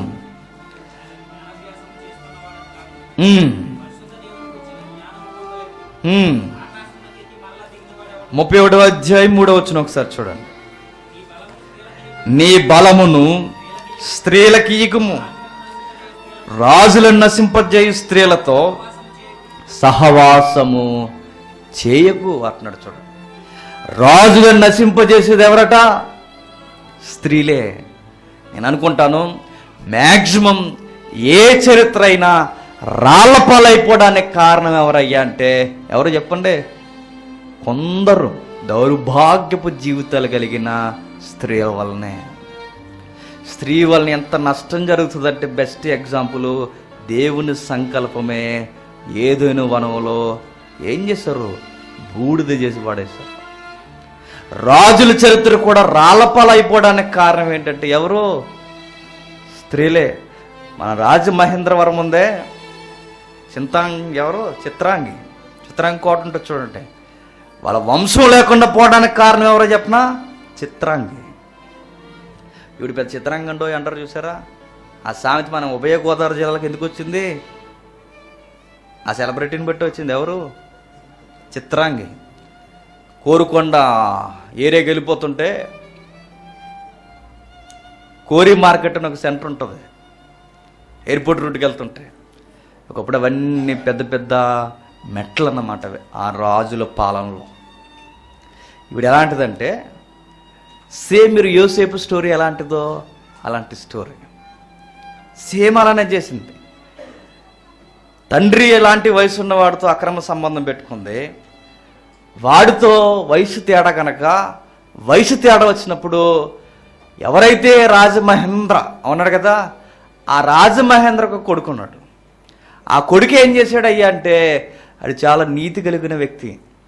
నీతి విలువలు కలిగిన వ్యక్తిగా గుర్తుపెట్టుకునేది పచ్చి నిజాలు ఇవి. మీరు వెళ్ళి అడిగితే ఆ కోటలు అన్నివే స్టోరీలు మనకి సమాధు సహా సాక్ష్యాలుగా ఉంటాయి. ఏం జరిగిందయ్యా అంటే ఆ కొడుకుని లైన్లో పెట్టాలని చూసింది ఎవరు? ఈవిడ. నీ తండ్రికి వయసు అయిపోయింది నీ మీద నాకు విపరీతమైన ప్రేమ పెరిగిపోయింది. మన ఇద్దరు కొంచెం వయసులో దగ్గర దగ్గర ఉన్నవాళ్ళం కదా మన ఇద్దరం తప్పు చేద్దామంటే నాకు తల్లి లాంటిదానివి నీతో నేను తప్పు చేయడం ఏంటి అన్నాడు ఎవరు? ఎవరైతే ఉన్నాడో ఉత్తమ కొడుకు. ఎప్పుడైతే ఈ విషయం బయటకు వచ్చేస్తుంది అనుకున్నది అప్పుడు ఆవిడ ఏం చేసిందంటే నీ కొడుకు నన్ను ఏం చేశాడు తెలుసా? ఏం చేశాడు అనుకుంటున్నావు? నా మీద అగాత్యం చేయకపోయాడు కానీ ఈ తింగర్రాజు ఏం చేశాడంటే వెంటనే ఇలా చేశాడా? అన్న నా కొడుకైనా సరే అని చెప్పి ఆ కోరి సెంటర్ ఏదైతే ఉందో ఆ కోరి గుట్ల మీద తీసుకెళ్ళి కాళ్ళు చేతులు నరికించి కొడుకుని చంపేశాడు. అందుకే రాజమహేంద్రవరంలో వారి యొక్క వంశం లేకుండా పోయింది. ఒకే ఒక కొడుకు. ఆ ఒకే ఒక కొడుకుని ఈ చిత్రాంగి నాటకాలకి ఆ వంశం బలైపోయింది. రాజులు నశింపజేసేది ఎవరట? ఎవరు? స్త్రీలే. అందరూ కదండి కొందరు. గొప్ప స్త్రీలు ఉన్నారు. తల్లి మరి ఉన్నది.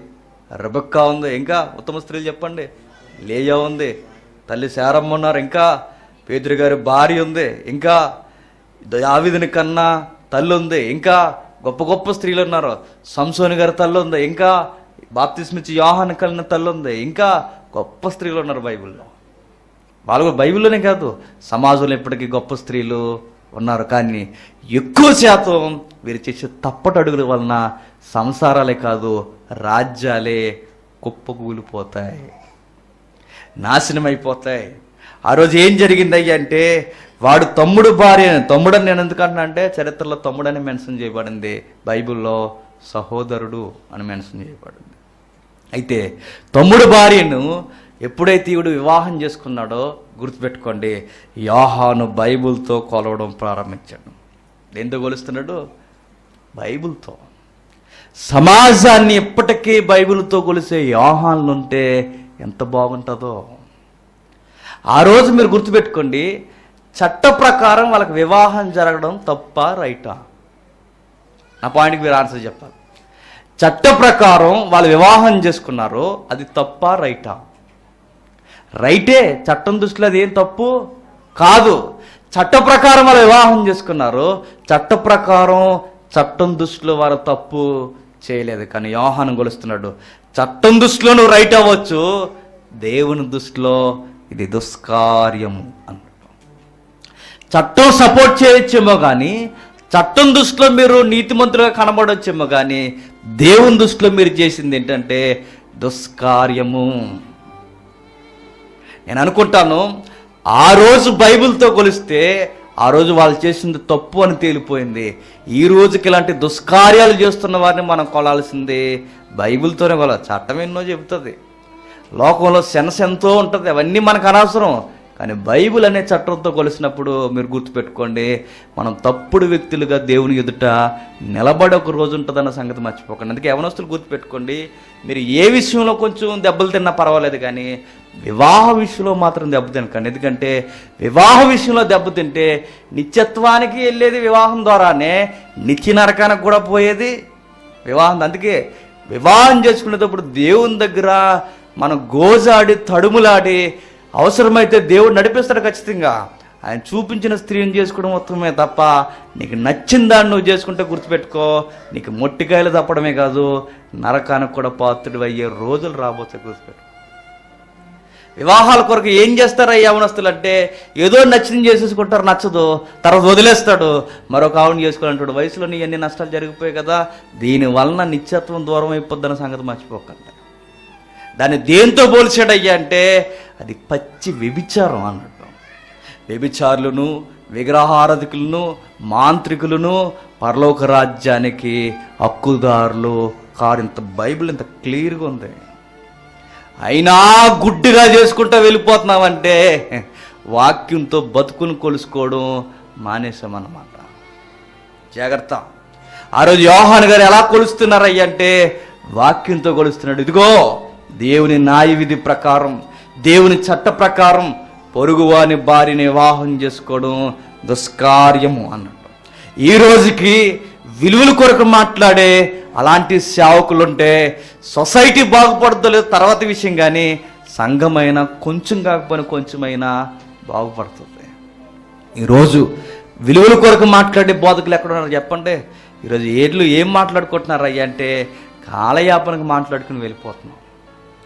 ఈరోజు విలువల కొరకు మాట్లాడేవారు ఎందుకు కరువు అయిపోయారంటే మాట్లాడే వరకు ఏం లేవు విలువలు లేవు గనక.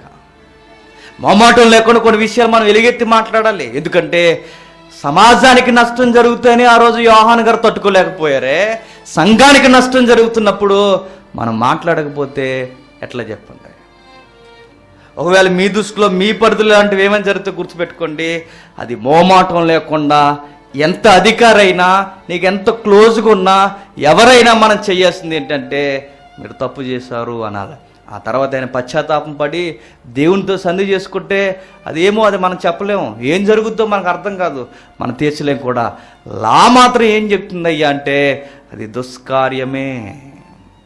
దేవుని యొక్క రాజ్యాంగం ఏం చెప్తుందయ్యా అంటే అది దుష్కార్యమే. ఈరోజు గుర్తుపెట్టుకోండి ఈ రోజుకి సెలబ్రిటీల జీవితాల్లో జరుగుతున్నవి ఏంటయ్యా అంటే ఈ విలువలు లేని కార్యాలే జరుగుతున్నాయి. ఆ రోజు బైబిల్ని బట్టి ఆ సెలబ్రిటీని కొలిసాడు యోహాను.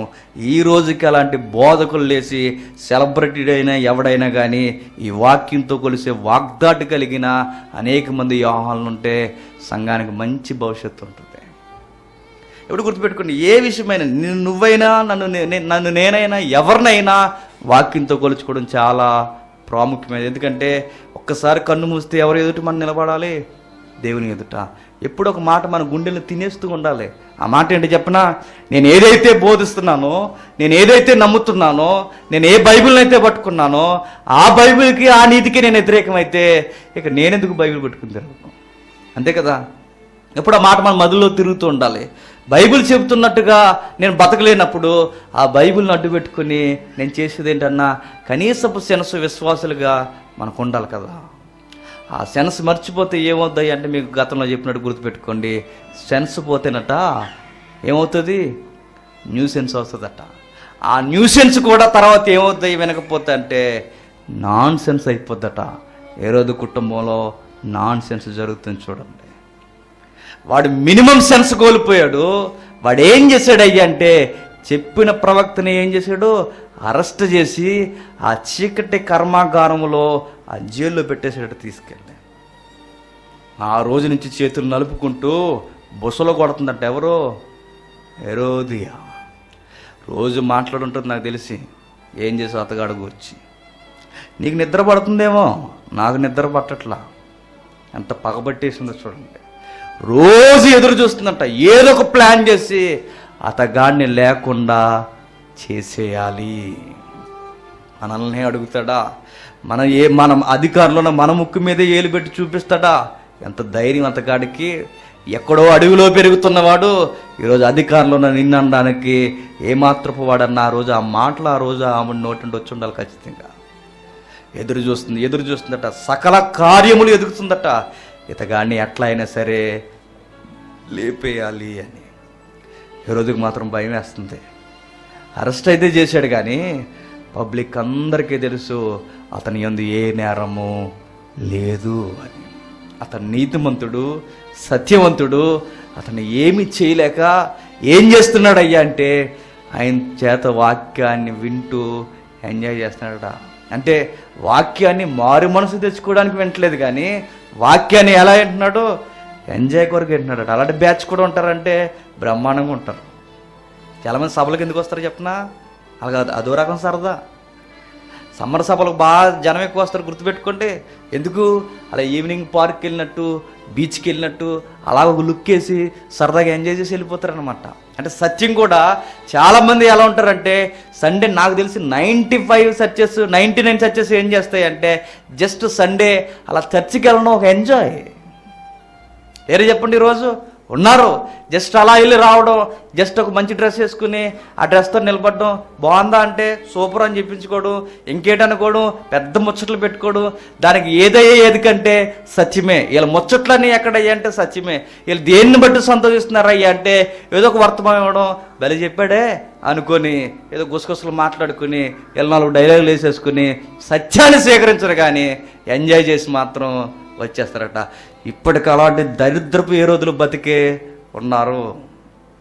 అలాంటి ఎరోదీలు ఇంకా బతికే ఉన్నారు? అలాంటి ఎరోదులు బతికే ఉన్నారు? సత్యం వీళ్ళకి ఎందుకయ్యంటే జస్ట్ ఏదో మానసిక ఉల్లాసానికి. క్రైస్తవులు అయిపోయారు తీరా? క్రైస్తవులను పరిచయం అయిపోయారు. ఎలాగో సినిమాలకు వెళ్ళలేరు. ఎలాగో సీరియల్స్ చూడలేరు కనుక వీళ్ళకున్న ఎంజాయ్ ఏదికి ఏదన్నా ఉందంటే ఏంటి చెప్పండి? సత్యం. చర్చ్. చర్చిలోకి వచ్చి సత్యాన్ని వింటూ వాక్యాన్ని ఎంజాయ్ చేస్తున్నారట. ఇలాంటి బ్యాచ్ ఈ ఇరవై ఒకటో శతాబ్దంలో ఎక్కువైపోయారండి ఈరోజు ఆ సోషల్ మీడియాని చూడండి. వాక్యాన్ని అడ్డు పెట్టుకుని ఒకరినొకరు తిట్టుకోవడంలో ఎంత సరదో. నీకు ఆ వాక్యం తెలియదు నాకు ఈ వాక్యం తెలుసు.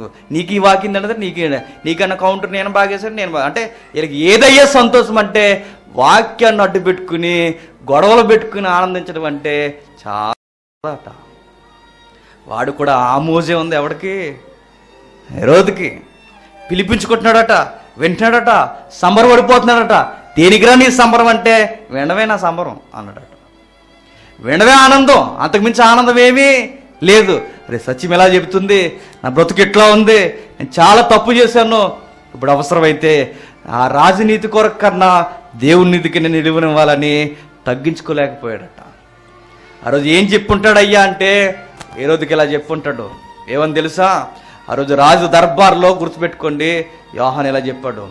అవసరమైతే నీ సింహాసనం దిగు అవసరమైతే నీ భార్యను వదిలే అవసరమైతే ఏదైతే దుష్కార్యం జరిగిందో ఆవిడ పెద్ద ఉత్తమరాలు అనుకోకు ఎందుకంటే ఆల్రెడీ మోసం చేసి వచ్చింది నిన్ను కూడా మోసం చేస్తుంది ఆ సంగతి మర్చిపోకు.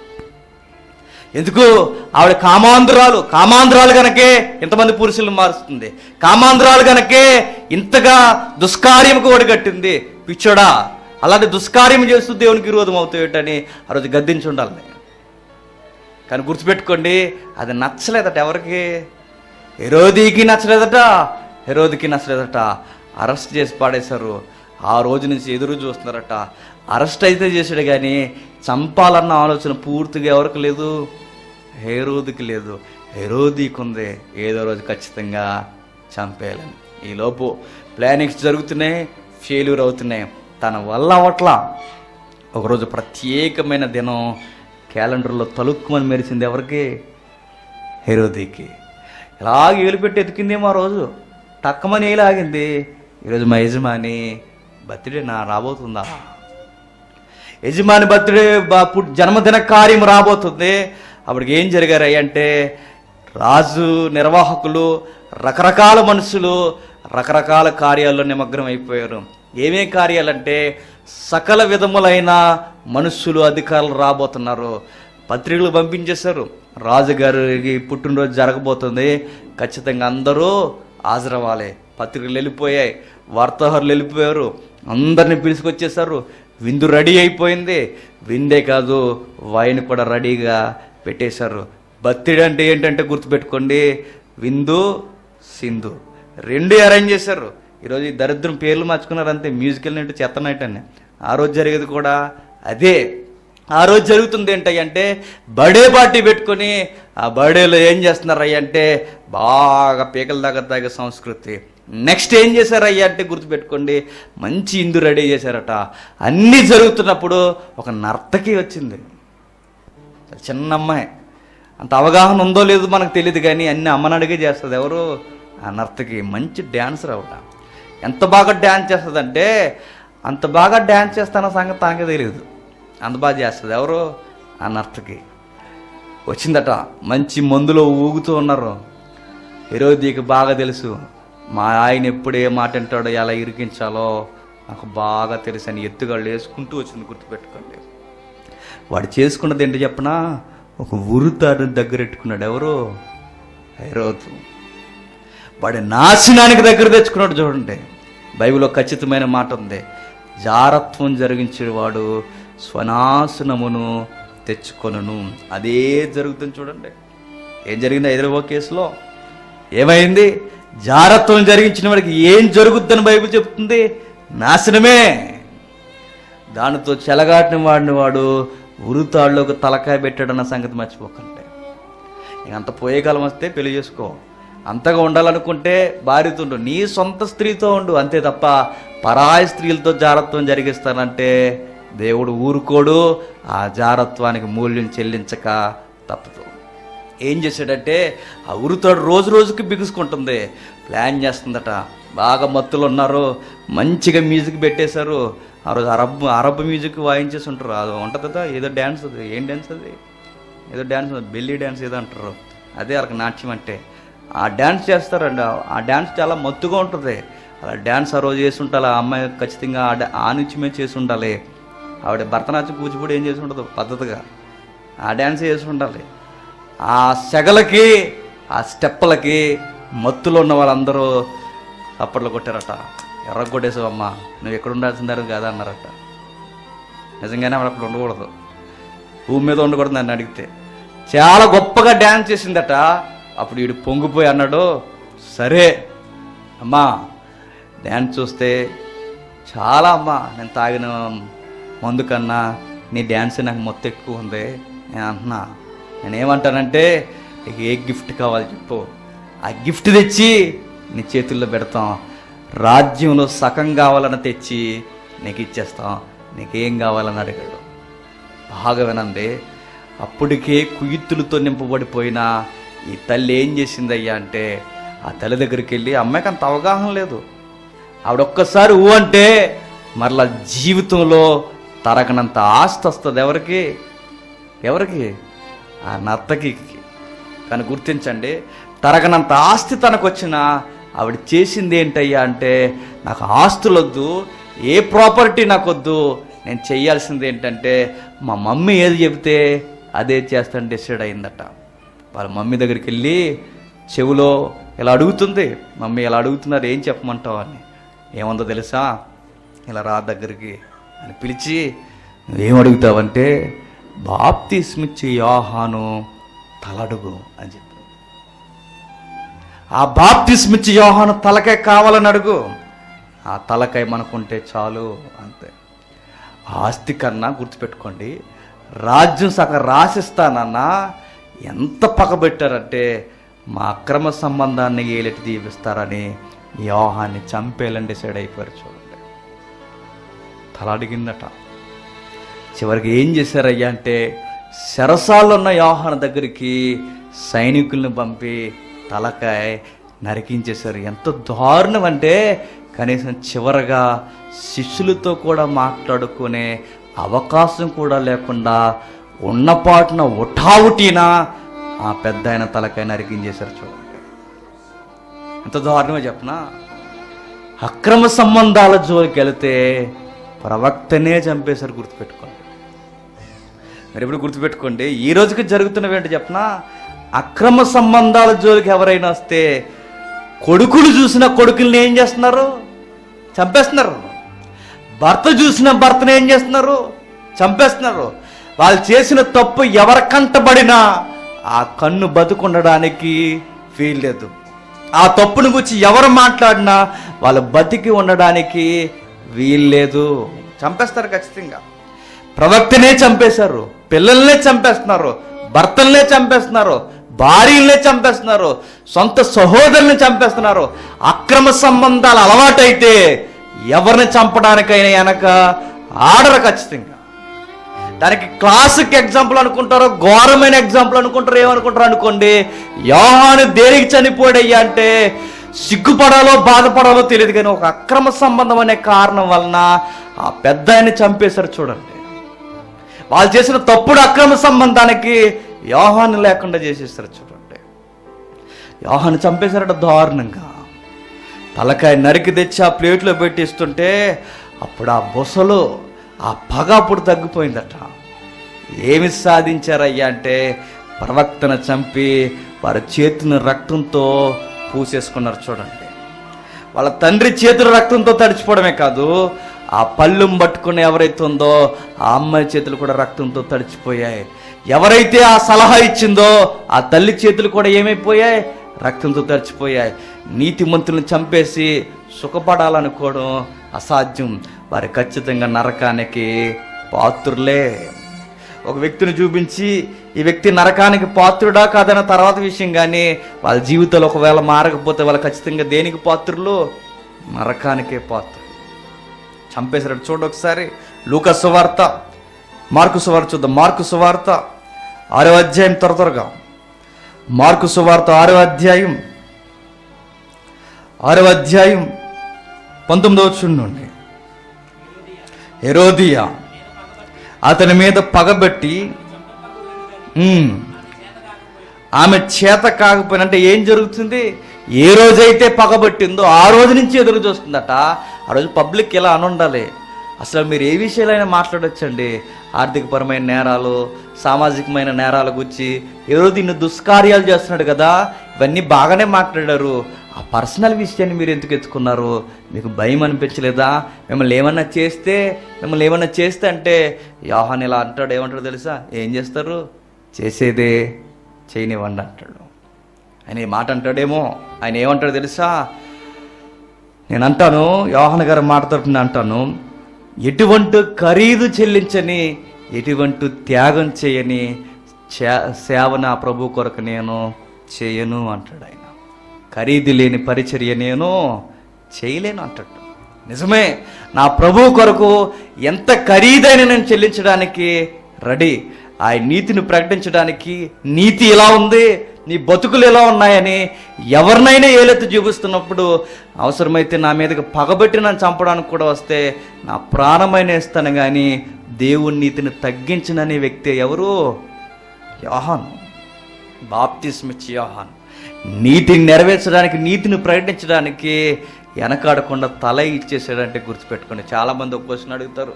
దానియేల్ని కాపాడాడు కదా.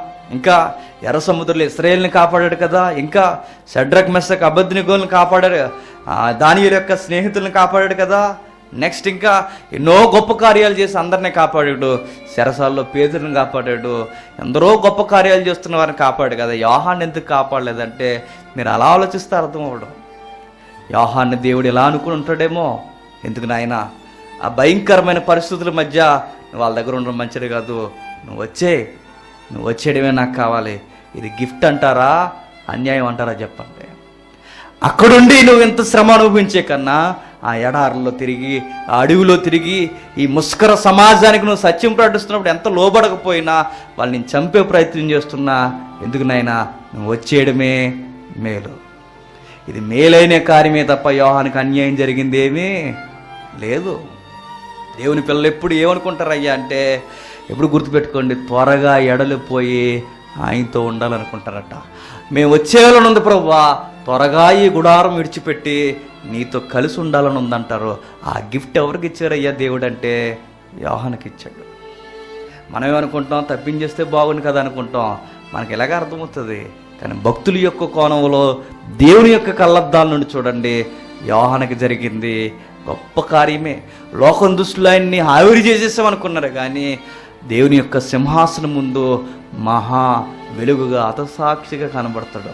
ఆ రోజు ఎలా పిలుస్తారేమో అతసాక్షులైన వారు అందరిని ఒక పక్కన పెట్టి అతసాక్షులైన వారు రండి అనగానే వాళ్ళ ముందు మనమే సిగ్గుపడతామేమో. మనం ఏం ఎరగదీసాం అంటే ఏం ఎరగదీయం? ఆదివారం వెళ్తాం వస్తాం వెళ్తాం వస్తాం. జనరల్ బ్యాచ్ అనమాట మనం అంతా అలా నేరోగా అలా బతికేస్తూ వెళ్ళిపోతుంటాం. ఆ రోజు సింహాసనం ముందు ఇతగాడు ఎవరు అనుకుంటున్నారు? నా కొరకు తల ఇచ్చిన వ్యక్తి. అతగాడు ఎవరు అనుకుంటున్నారు?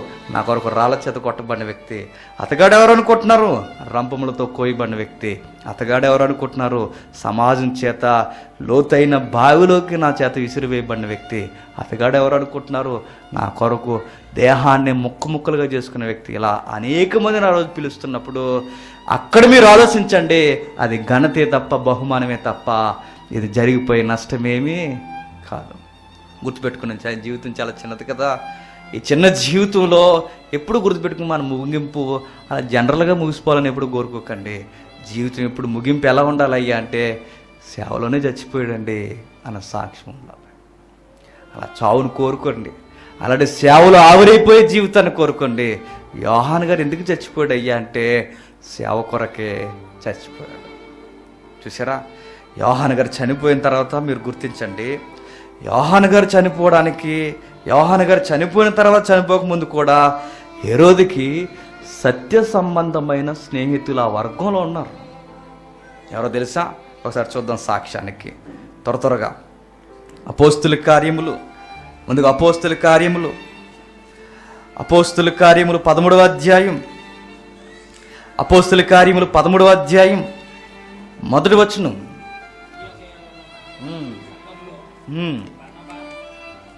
అర్ణబా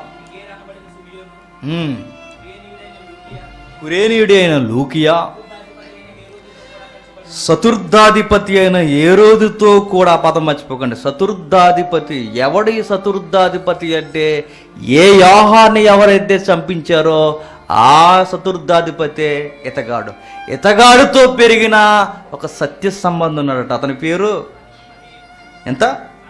మనయేలు. చూసారా? అతగాడి పేరేంటయ్యా అన్నది పేరు తర్వాత విషయం. ఇతడు గారు ఎవరు కూడా ఉండి పెరిగాడట? ఏ రోజు కూడా ఉండి పెరిగాడు అతనితో కలిసే పెరిగాడు అంటే ఏ రోజైనా సత్యం చెప్పి ఉండడా సత్య సంబంధం ఎప్పుడు నోరు మూసుకుని ఉండడు ఖచ్చితంగా మాట్లాడి ఉండాలి. ఆ యోహాను గూర్చి వాళ్ళు పెరిగిన వాతావరణంలో వారికి తెలిసిన సహవాసంలో ఏదో ఒక రోజు ఆ యోహాను గురించి గొప్పగానే చెప్పు ఉండాలి సత్య సంబంధులు దగ్గరున్నా సత్యం విలువ తెలియకుండా సత్య సంబంధిని ఏం చేశారయ్యా అంటే చంపేశారు చూడండి మరొకరు కూడా ఉన్నారు ఆ వర్గంలో? లుకసువార్త ఎనిమిదో అధ్యాయం. లుకసువార్త ఎనిమిదో అధ్యాయం. మూడో వచనం. లోకస్వార్త ఎనిమిదో అధ్యాయం. మూడో వచనం. మీరును మీ పితరులు అనేకులను. ఎనిమిదో అధ్యాయమేనా? రెండవ వచనం చదువు. పన్నెండు మంది శిష్యులను అపవిత్రాత్మలు వ్యాధులను పోగొట్టుకునిన కొందరు స్త్రీలు అనగా నేడు దయ్యములు వదిలిపోయిన మద్దలేని అనబడిన మరియు ఈరోజు యొక్క గృహ నిర్వాహకుడకు కూజా భార్యకు యోహన్నయు సుసన్నయు ఆయనతో కూడా ఉండ్రి. కూజా భార్య ఎవరి వర్గానికి సంబంధించింది? రాజరిక ఎరోదు వర్గానికి సంబంధించింది. అక్కడ స్త్రీలు సత్య సంబంధులు ఉన్నారు పురుషులు సత్య సంబంధాలు ఉన్నారు. అంటే ఎరోదు కొరకు ఎక్కువగా ఇన్ఫర్మేషన్ ఎవరిచ్చి ఉండాలయ్యా అంటే క్షమించండి యోహాన్ కొరకు. ఎరోదుకి ఇచ్చింది బహుశా ఈ సత్య సంబంధులు అయ్యి ఉండాలి. సమాజంలో గాళ్ళు వేశాడు అరణ్యంలో మాట్లాడుతున్నాడు అతని మాటలకి ఎవరైనా మారు మనసు పొందాల్సిందే. నిజంగా ఆయన గొప్ప ప్రవక్తని ఏ రోజు వీళ్ళు చెప్పుండ్రా. సత్యం తెలిసిన వారు గుర్తుపెట్టుకొని నోరు విప్పి మాట్లాడతారు. సత్యం తెలియని వారే నోరు మూసుకొని మన పనుల్లో మనం వెళ్ళిపోతాం. వాక్యం తెలిసిన వారు ఎప్పుడు మాట్లాడే ప్రయత్నం చేస్తారు? వీళ్ళు మాట్లాడి ఉండాలి ఖచ్చితంగా. ఇలాంటి సత్య సంబంధులు స్నేహితులుగా పనివారిగా దాసులుగా ఉన్నా కానీ సత్యానికి స్తంభమైన యోహాన్ని ఏం చేశారు? చంపేశారు. చివరికి గొప్ప ప్రవక్త గుర్తుపెట్టుకుని నాలుగు నాలుగు భాగాలుగా మనం చూస్తాం.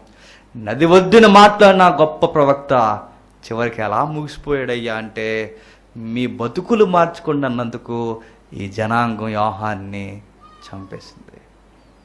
మరొక మాట ఏంటో చెప్పనా?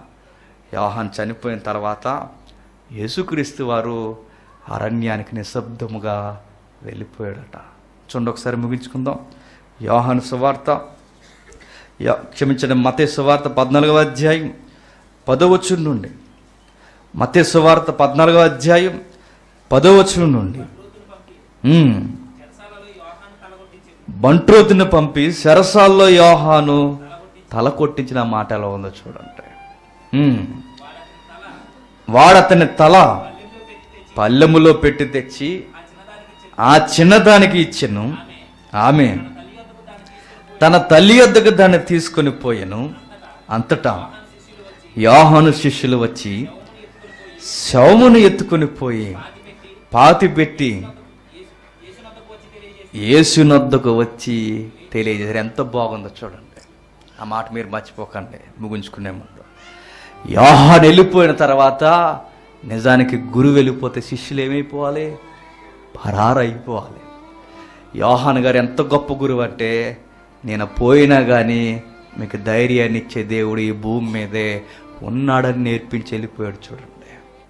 ఆ బాధ శిష్యుల్లా వెళ్ళిపోయి యేసుక్రీస్తు వారి శిష్యుల్లా తలుపులు మూసుకుని గురువు వెళ్ళిపోయాడికి మనం ఏం చేయాలని భయపడుతూ ఉండిపోలేదట. ఒకరినొకరు వాదార్చుకుంటూ ఉండిపోలేదట. పరాయి దేశాలకు వెళ్ళిపోలేదట. మన జీవితాలు రేపు నుండి ఏమైపోతాయని భయపడలేదట. ఎవరితో పంచుకున్నారయ్యే ఈ మాటలంటే ఎవరినైతే బోధిస్తూ వచ్చాడో ఎవరినైతే చూపిస్తూ వచ్చాడో ప్రతి దానికి ఎవరు సమాధానకర్త నేర్పించు నేర్పిస్తూ వచ్చాడో ఆ యేసుక్రీస్తు దగ్గరికి వచ్చి జరిగిన విషయం అంతా చెప్పుకున్నారట. ఎందుకు? నీవేనయ్యా మా ధైర్యము అని. అంటే వెళ్ళిపోయిన గురువు కన్నా అంతకన్నా గొప్ప గురువు గారిని పరిచయం చేసి వెళ్ళిపోయాడు ఆయనే. యోహన గారు ఆ పరిచయం చేయబడిన గురువే యేసుక్రీస్తు వారు. ఈ వార్త యేసుక్రీస్తు వారు విన్న వెంటనే ఏం చేస్తున్నారు చూడండి కింది వచ్చును. యేసు ఆ సంగతి విని ధోని ఎక్కి అక్కడ నుండి అరణ్య ప్రదేశం నాకు ఏకాంతముగా వెళ్ళిపోయాడు చూడండి. ఎందుకు వెళ్ళిపోయాడు? ఎంత అర్జెంటుగా అయినా? ఇద్దరు గుర్తుపెట్టుకోండి. ఇద్దరు జీవితాలు పరిచర్య కొరకు అతసాక్షులైపోయిన జీవితాలే. నిజంగా అలా బతకాలని బతికితే. ఇద్దరు కూడా గొప్ప కారణం వల్ల పుట్టిన వారే ఇద్దరు ఒకే వ్యవహారపు జీవితం కలిగిన స్త్రీలకు పుట్టిన వారే ఇద్దరు ఆధ్యాత్మిక తీవ్రత కలిగిన జీవితాలు కలిగిన వారే ఇద్దరు తల్లుల కొడుకులు ఏమైపోయారయ్య అంటే ఇద్దరు తల్లుల కొడుకులు ఏమైపోయారు పరిచర్య కొరకు దేవుని నీతి కొరకు చచ్చిపోయారు చూడండి. ఆ రోజు మరి నేను అనుకుంటున్నాను యోహాన్ని చంపేశారు అనగానే యశ్క్రీస్తు వారు కూడా ఒక మాట గుర్తొచ్చిందేమో తర్వాత చనిపోవాల్సింది నేనే. నా ముందున్న నా ప్రకటన చేస్తున్న యోహాన్ని చంపేశారు. ఆయన పరిచర్య ముగించబడింది. నెక్స్ట్ నా పరిచర్యే ముగింపుకి రాబోతుంది. ఇవన్నీ ఆలోచించుకున్నాడు గొప్ప స్నేహితుడు వెళ్ళిపోయాడే అని అరణ్యానికి ఏకాంతముగా వెళ్ళిపోయాడు ఆయన. తర్వాత జరగబోతున్న కార్యం వ్యాహాన మరణం. యసుక్రీస్తు వారికి మరొక్కసారి తలుక్కు మనకి జ్ఞాపకం చేసి ఉంటుందా చెప్పండి? ఖచ్చితంగా జ్ఞాపకం చేసి ఉంటుంది. నా కొరకు ప్రకటన చేసిన వాడు వెళ్ళిపోయాడు. ఇప్పుడు నేను ప్రకటన చేస్తున్నాను. నేను కూడా వెళ్ళిపోవాల్సిన రోజులు దగ్గరకు వచ్చేసాయి. ఆయన వెళ్ళిపోయి ఏకాంతంగా సేద తీరదామని ఆ బాధలు ఆయన ఉన్నప్పుడు పబ్లిక్ ఆయన్ని ఎదుక్కుంటూ వచ్చేసిందట. గుర్తుపెట్టుకోండి పబ్లిక్ ఆయన్ని ఎదుక్కుంటూ వస్తే ఆ బాధలో కూడా వారి ఎందుకు కనికరపడి వాక్యాన్ని విస్తరించి ప్రభు మాట్లాడాడు ఏమర్థమవుతుంది అక్కడ? నీకు పర్సనల్గా ఎన్నో బాధలు ఉండొచ్చు నువ్వు పర్సనల్గా ఎంతో కుంగిపోవచ్చు కానీ వాక్యం మాట్లాడడం మాత్రం ఎప్పుడూ ఆపకూడదు. వాళ్ళని చూసి మనం ఏమి నేర్చుకోవాలయ్యా అంటే గొప్ప స్నేహితుడు చనిపోయాడు తర్వాత జరగబోయేది ఈయనకే. ఇలాంటి ఒత్తిడి మధ్య పబ్లిక్ వచ్చి దేవుని మాటల కొరకు ఎదురు చూస్తే ఆ బాధలన్నీ పక్కన పెట్టి భారంతో వాక్యం చెప్పాడని గుర్తుపెట్టుకుని మనం ఎలాంటి వారం చెప్పినా మనకు అంతా బాగుంటే చచ్చికొస్తాం. ఏమన్నా ప్రాబ్లం వచ్చిందనుకోండి ఏం చేస్తాం? ప్రాబ్లం తీరే వరకు చచ్చిమొహం కూడా చూడమ్మా చాలామంది ప్రసంగికులు కూడా చే- చేసే తప్పు ఏంటయ్యా అంటే వాళ్ళకి ఏదైనా ప్రాబ్లం వచ్చిందనుకోండి ఆ ప్రాబ్లం క్లియర్ అయ్యేంత వరకు మళ్ళీ వాళ్ళ ప్రసంగాల జోలికి పోరు. ఇలా అయితే మనం బలా అనిపించుకోగలమని చెప్పండి? ఏమైపోయినా ఏం జరిగిపోయినా చివరికి గుర్తుపెట్టుకోండి ఒక సేవకుడు ఉంటాడు. ఆయన ఆదివారం బయలుదేరి తెలుస్తున్నప్పుడు ప్రభుకిరణ్ గారు ఆయన పేరు అన్న తమ్ముడు ప్రభుకిరణ్ అన్న తమ్ముడు ఆయన పేరు ఏం పేరు? శాంతి భాష అన్న. ఆయనకి ఏం జరిగిందో తెలుసా? ఆయన వాక్యం బోధించడానికి వెళ్తే వాళ్ళ అమ్మగారు నాన్నగారు చనిపోయారు. మీటింగ్కి వెళ్ళాలా? వాక్యం చెప్పాలా? అంత్యక్రియలు చేయాలా? ఏం చేయాలి? వాక్యం మాత్రం ఆపలేదు చూడండి.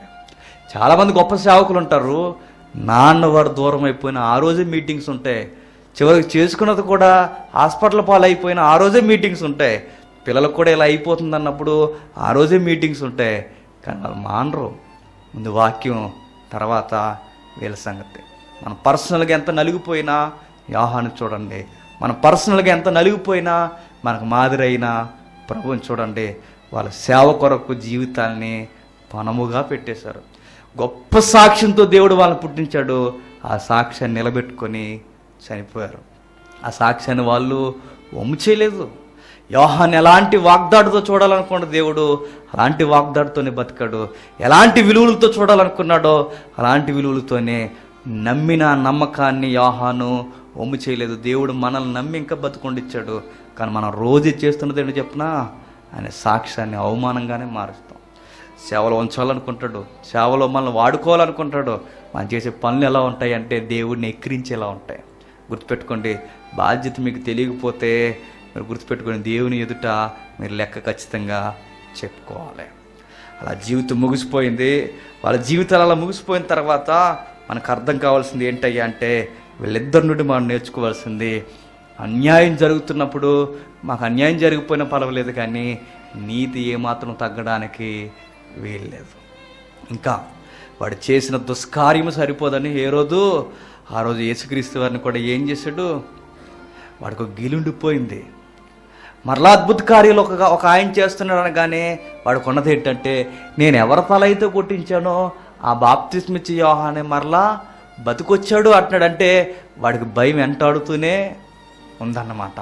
వస్తాడు వచ్చాడేమో ఏం జరిగిందో ఆ హృదయం వాడిని తినేస్తూనే ఉంది. గుర్తుపెట్టుకోండి ఒకరోజు యేసుక్రీస్తు వారు పట్టింపబడిన తర్వాత పిలాతు పంపిస్తాడు.